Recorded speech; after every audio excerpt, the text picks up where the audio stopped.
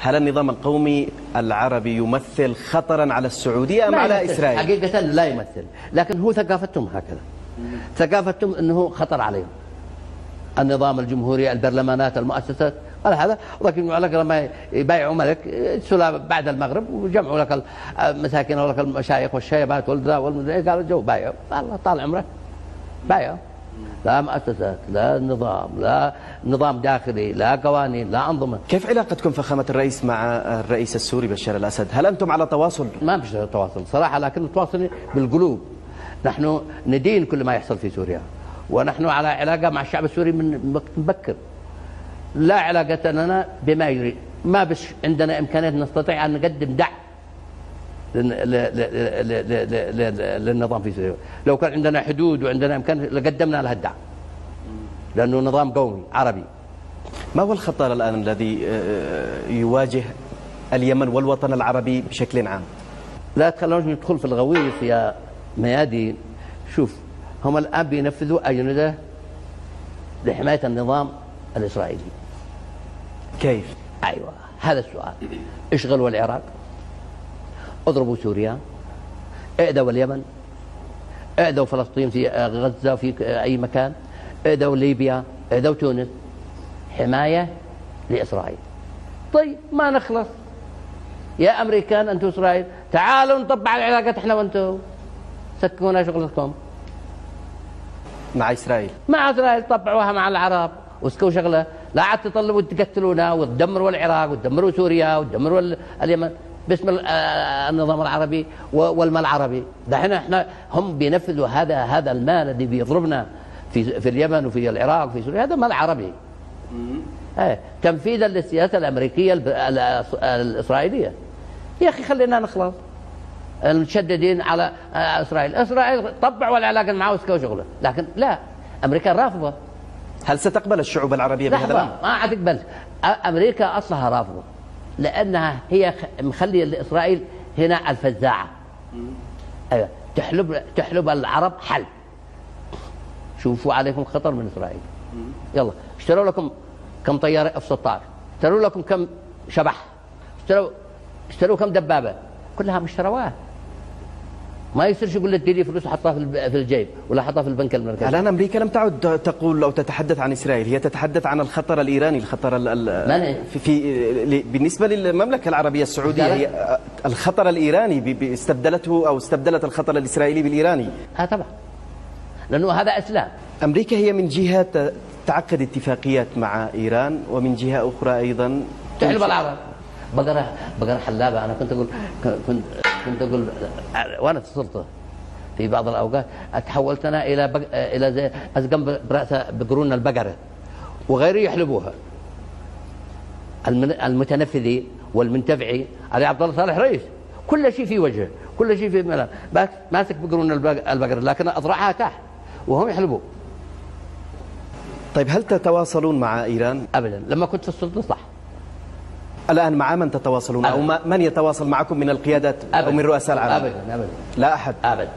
طيب فخامة الرئيس لكن لسنا معادين لايران ليس لا- هناك داء لا أبداً. وهي لا. تمثل أي خطر على اليمن؟ ولا تمثل أي خطر، الخطر الخطر من ذي بيضرب اليمن. السعودية. إيران. طيب فخامة الرئيس إلى جانب الحرب على اليمن واستهداف المنشآت واستهدافكم أيضا شخصيا هناك حرب أخرى باستهداف وسائل الإعلام آه، الرافضة نعم، للغارات السعودية. اليمن اليوم استهدفوها وقتلوا فيها قتلى وجرحى من من الكادر.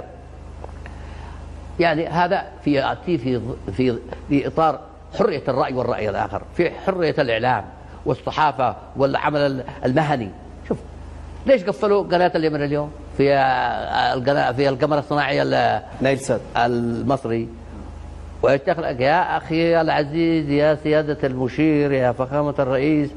عبد الفتاح السيسي نحترمك ونقدرك ونقدر شعب مصر. شعب مصر شقيق قدم عشرات الآلاف من الشهداء دفاعا عن الثورة والجمهورية والجرحى. أنتم- تقفل علينا القناة بناء على رغبة السعودية. الله المستعان. أنتم وقفتم مع السيسي. وقفت مع السيسي وارسلت له وفد وكاتبته وارسلت له أنه نبارك لك. اطلع. ولا يبقوا هلا المتطرفين. هل كان هناك تواصل شخصي بينكم؟ لا شخصيا لم يحدث. لا.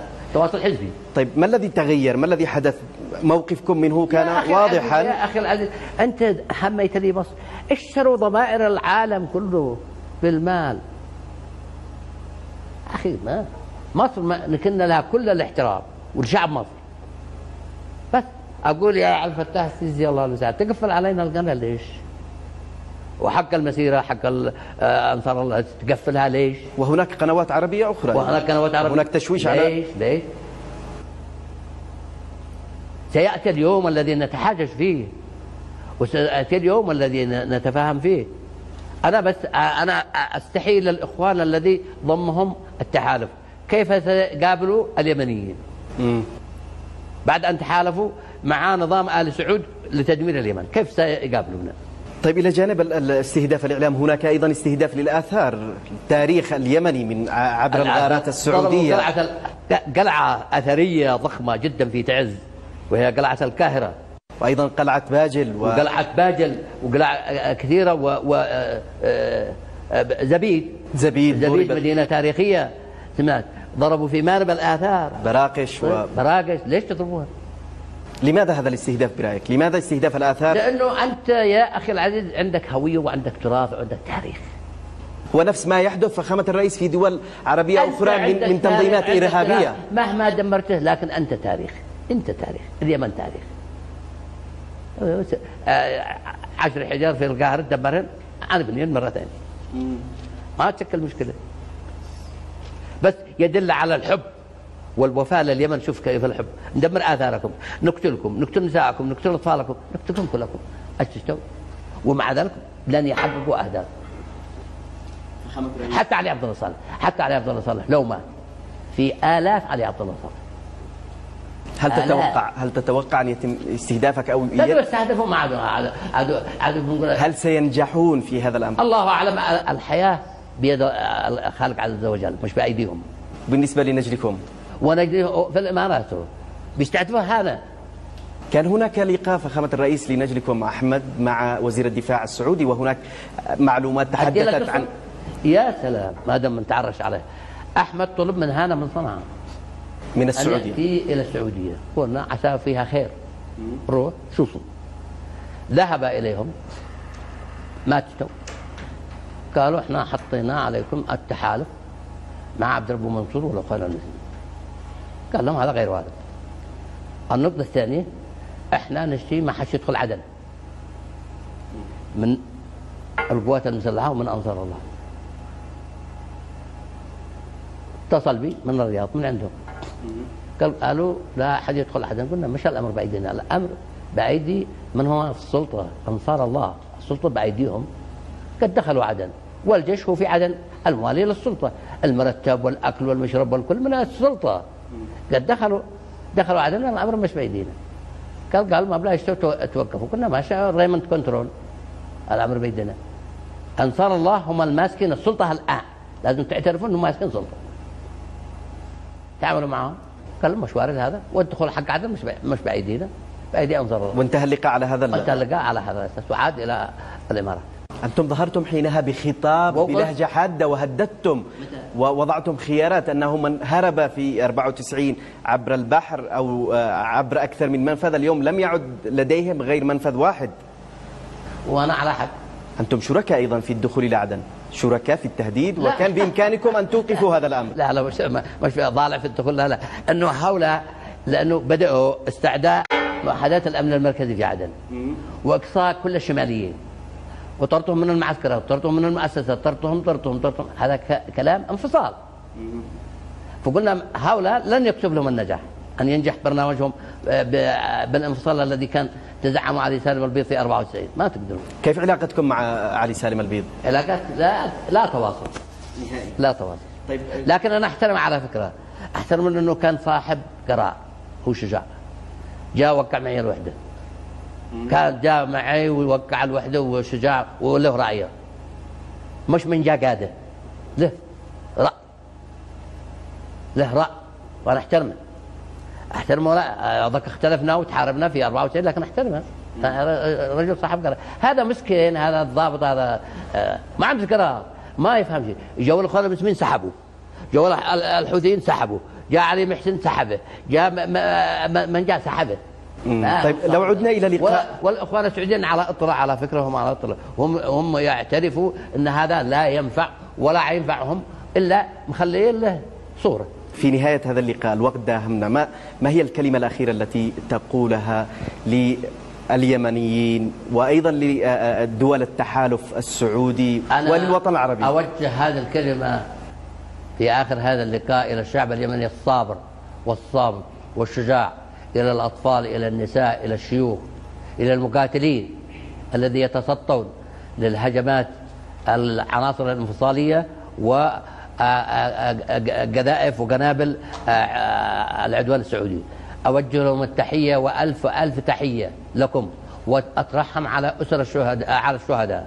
وأتمنى للجرحى الشفاء العاجل والصبر الصبر مفتاح الفرج. الصبر الصبر مفتاح الفرج.